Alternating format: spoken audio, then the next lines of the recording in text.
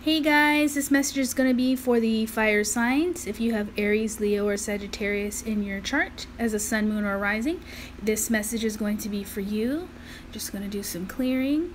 I wanted to let you know if you didn't already, Chiron is in retrograde.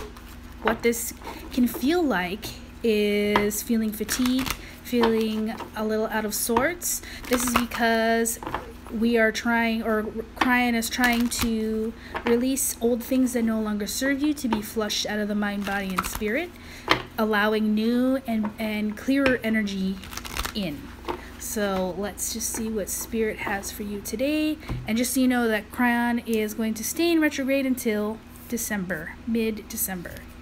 So, your card is the Queen of Cups. And this is interesting because this is exactly what the earth signs got. And this is saying that either you or a family member or friend is that person, that intuitive nurturer, someone who's coming in to care for you at this time. Knowing that you do need a shoulder to cry on or just someone to listen to you in this moment. They intuitively know that something isn't correct or right with you and that they need to step in or you step in for that person.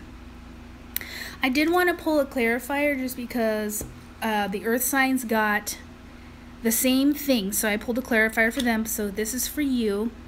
The Ace of Discs. So you may be stepping in for your friend and bringing in some stability bringing in abundance, meaning you're either helping them with money, you could be helping them with a listening ear, helping them get grounded.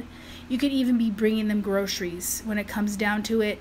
Um, you're just there to be able to give your help in any way that you can and whatever's going to be fit for them. You intuitively know how to go about it and if this is a friend or a family member doing it for you it's it's vice versa same thing. They are coming in just at the right time for you giving you either that helping hand giving you either like small gifts or giving you gifts of money to help pay for some bills this week. Whatever it comes down to these people love love you so much and are ready to just help with whatever way they can I hope you take some time for some self care this week. It seems like it's going to be um, a time for that and to just give major gratitude to your friends or family at this time. And I will be back with some love readings. Thank you.